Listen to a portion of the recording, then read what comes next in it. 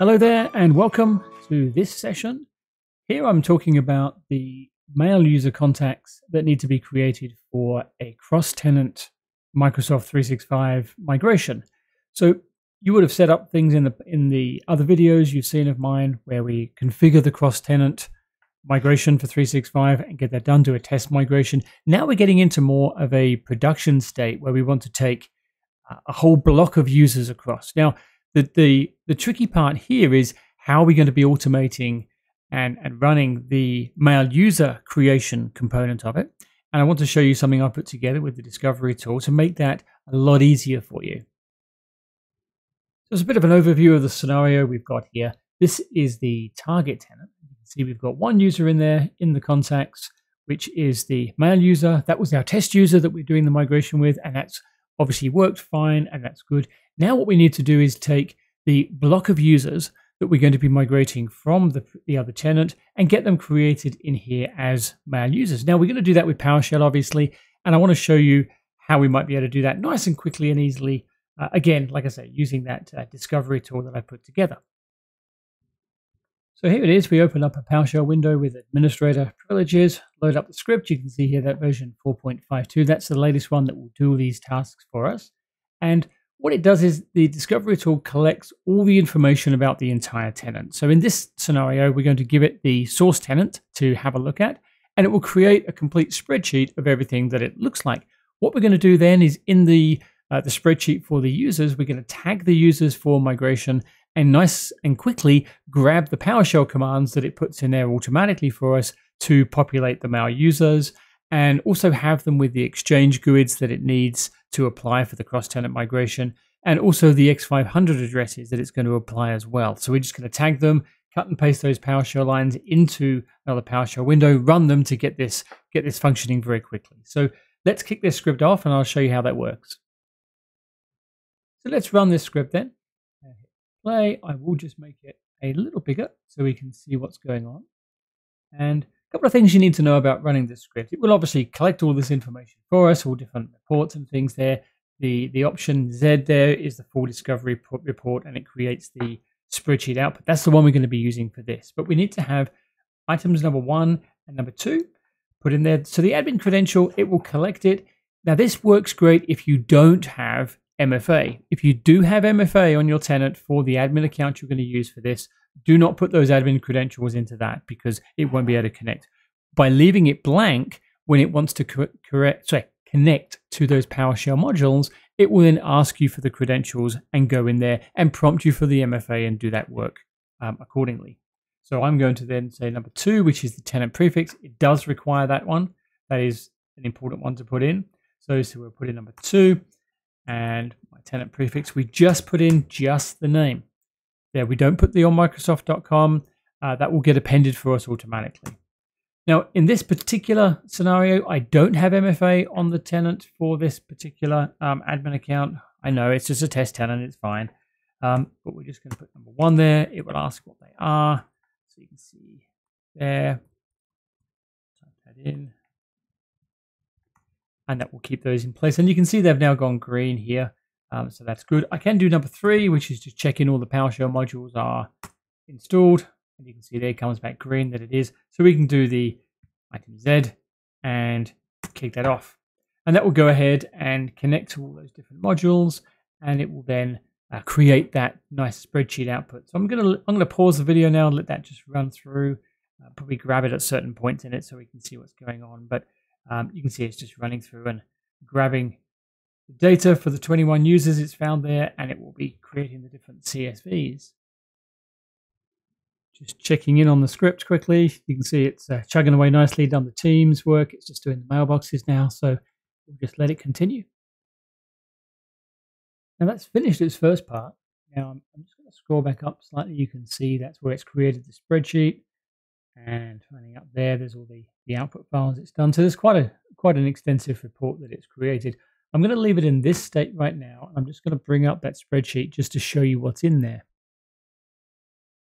So this tenant that we're looking at was actually created as a sandbox tenant as a default when we did the, the E5 developer side. So all of these items here are Microsoft generated, apart from a couple which are mine, obviously. Um, but you can see these all these reports anyway. Now, uh, what I want to look at here is the fact that yes, we have the mailboxes. I'm going to come back to that because just very quickly we can see here if we look at teams, you see these are all the different teams that are in there, the storage capacity, where they are. There's a lot of things created there, and also the the teams channels and the members of those channels, owners, and you can see different members here. So really, if you wanted to look at a particular user and say what teams are they a member of, or a particular team and say who the members are, you can find that quite easily too. And, and that's really handy if you're just doing the, the filters there. We could say filter it on a team user, and you could say, I want to know everything that Bill is a member of, and you can see he's a member of marketing and finance. So it's quite an easy um, function to get out of there. And of course, Teams channels, you could do exactly the same thing. Uh, we could uh, just do a quick filter, and you can say, okay, let's have a look at Bill, and these are all the different channels that he is a member of. You can see here he is a member of this private channel inside finance as well as the general, whereas other people um, you may not have that that uh, channel applied to them. So it's it's quite handy from a reporting perspective to see you know who's there. We've got the SharePoint as well. We've got all the SharePoint sizing, all the different uh, sites that are available. Uh, it also shows whether they are Teams connected and Teams channel connected. Anything here with true on it means it is actually a Teams site, not strictly a SharePoint site. But these ones here you can see are, are SharePoint sites. So you can filter on those and, and look around those. Uh, complete OneDrive report, you can see what the, the storage used on all these users. Yeah, not very much on those ones, but it is, like I say, a sandbox site. But you get all the, the URLs and modified dates and things. MFA status, who's got MFA configured, who hasn't, and are they an admin, the like. So uh, that's handy to have as a report. And in this tenant, we don't have guest accounts and contacts and things as yet. And there's really not much uh, distribution list membership. As you can see, here's only one there. But if we did have a lot more data in there, you'd get a, a much bigger report. But I'm interested in the user mailboxes here.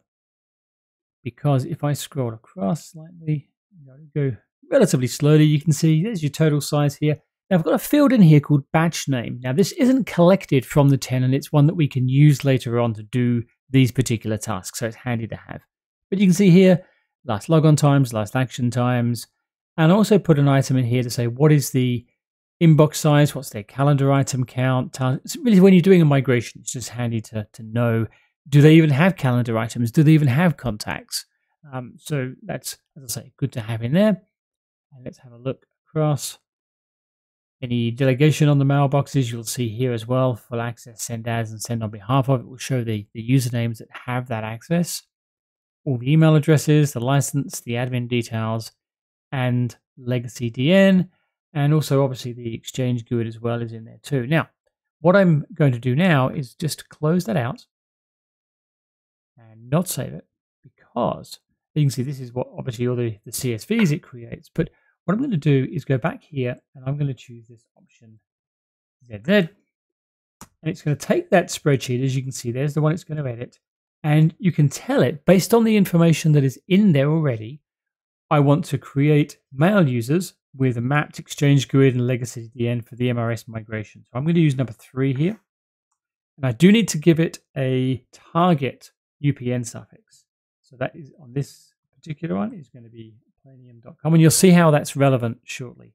But if we do that, go in, you can see it brings up the spreadsheet in the background and the script is making those changes. And that is done. That happens very quickly. So now let's go back into that spreadsheet. This one here. Open that up again.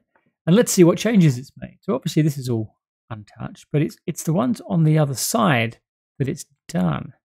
I go across, all the way across here, it's added all of this content for us here. So it has create has the option there to say new mail users and do the setting. What I'm going to do is just um, expand those out. You would actually see what that is there if you expand it fully out. In this particular case, I'm not going to. I'm going to cut and paste them into PowerShell so we can use them. But the identity one is is interesting because that's the new identity they'll get in Planium based on the, the, the current um, address that they have. And obviously that's the UPN suffix. And it pulls all this information out. Now, what I'm going to do is I'm going to go back to our over here and I'm going to say, well, we're going to do some migration work.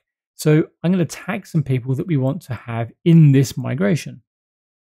So I might call it batch one, and I'm going to say, okay, we want batch one, and you can have batch two, batch three, and, and keep, it, keep it bigger. But this is handy for when you set them up later on. So we're going to have, I'm going to tag and say, these are the people, and I'm going to grab four of them.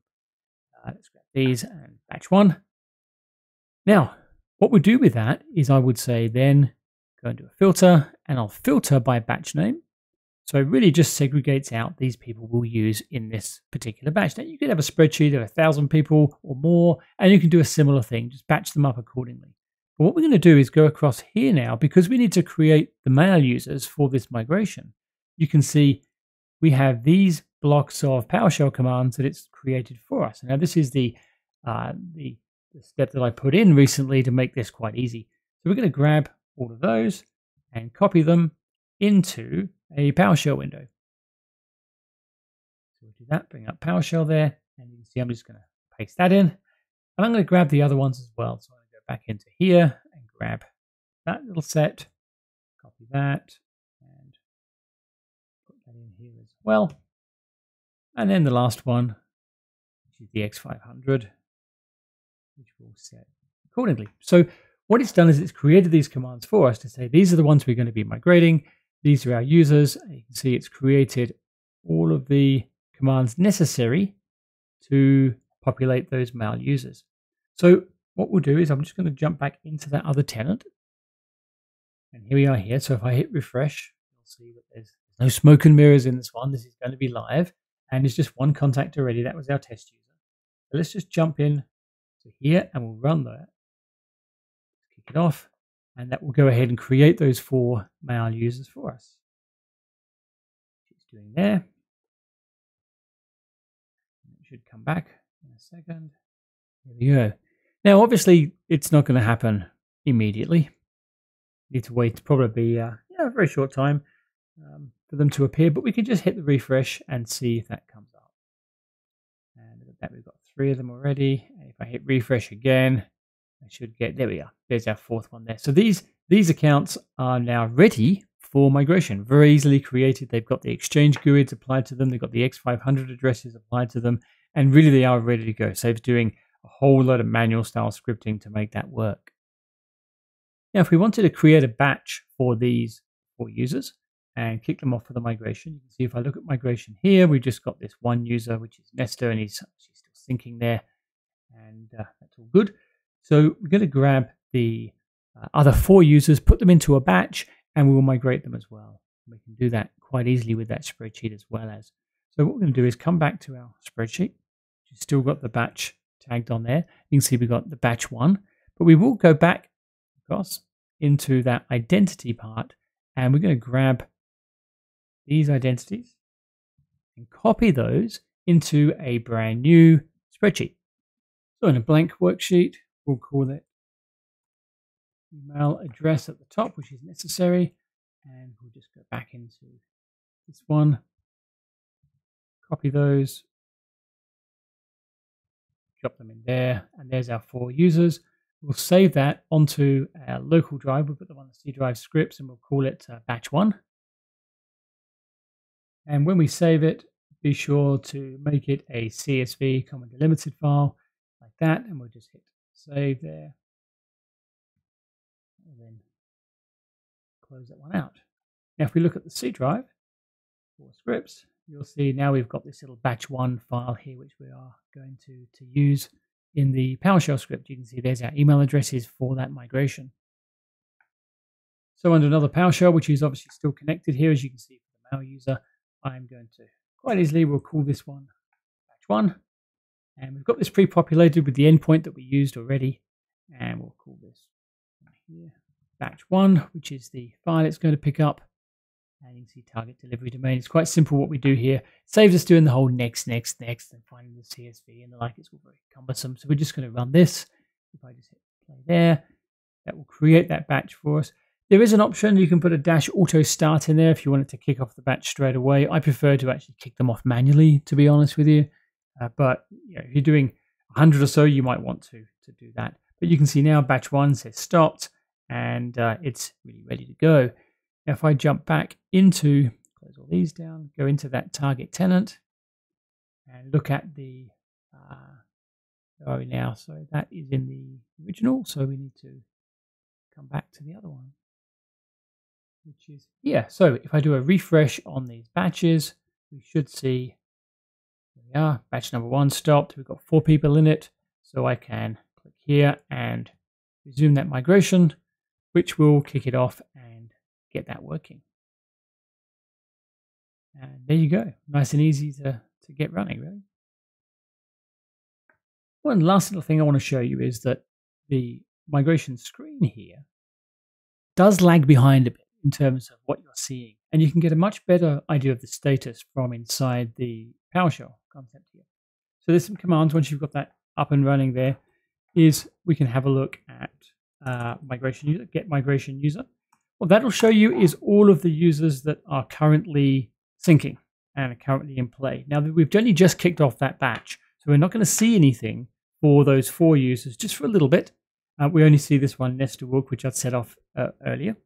Um, so once again, I'll pause this for now and come back in a few uh, few minutes time when this one starts cranking and we should see the five users there. Then I'll show you how to get the status of individual users so you can keep track of how they're going in the migration. Okay, so doing a refresh here, you can see that this batch one is now syncing. And if I go into the batch one and have a look at details, you can see it's come up with names. Now that's a little trigger to say, yes, we can start looking them up and start looking at the status because it knows who they are. So let's jump back into our PowerShell and we'll run that same command again, get migration user. We should see, yeah, there we go, five people there, and we've got batch one. So if I want to have a look at this uh, Diego S and just have a bit more information about what's going on with him, we can do get migration user, and I will give it an identity, which will be s at planium.com. If I do that, I'm going to get exactly the same information that it's displaying here. But what I'm going to do now is just pipe get migration user statistics on the end of it, you'll get to see a little bit more information. You can see what's happening, synced and the like. Um, but I'm going to add just one more thing on here. And I'm going to pipe out and I'm going to select a few more things. So I'm going to say, I want to see identity. I want to see, and I want to see batch. I want to see the status. I want to see everything about sizing and everything about item. Now, if we run that one instead, you'll get a bit more information out of it. Bit of a different view, but now we can see, okay, what's our estimated total size, skipped items, synced item count, the whole thing. And that's quite a good one to, to look at and just to see how much is this one tracking along. These ones are very, very small, so they're going to go past pretty quickly once they get going. But if you had a large mailbox, you know, 20, 30 gig, uh, you can get a, a, good handle on how things are actually going when we uh, when we look at those. So it's just, as I say, handy little script to run just to keep an eye on the migration as it is progressing. So let me show you where you can get this script from. See here, if I go to the cloudgeezer.com website, quite simply on that front screen there, you can see there it is, Microsoft 365 Discovery Report, and you can see what it does. Click inside there. You'll then get uh, all the details, all the good stuff I talk about, and there's the video how to use it. Now, I'm linking off here into the actual product page, and that's where you can download it. It just goes through exactly what it can do. So anyway, guys, thank you very much for watching. I hope this is useful when you're creating the mail users inside the, uh, the target tenant. As I say, hope this was helpful. Please subscribe to the channel. And I wish you a very good day, evening, morning, weekend, whatever time you're in. So thanks again and have a good one.